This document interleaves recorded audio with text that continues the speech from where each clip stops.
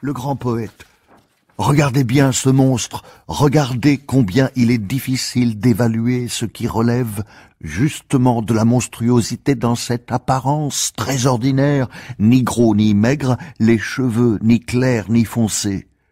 L'aspect général d'un apprenti, apprenti peintre en bâtiment, au milieu d'une assemblée de grands architectes, timide comme une souris et pourtant monstre fatal.